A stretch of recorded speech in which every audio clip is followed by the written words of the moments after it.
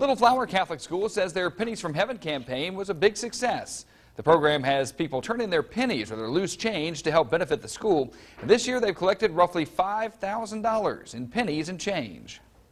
The motto of our patroness, St. Teresa, was do little things with great love. So we think doing these pennies with great love adds up to magnificent things. The program helps the scholarship program provide money for families in need of tuition assistance.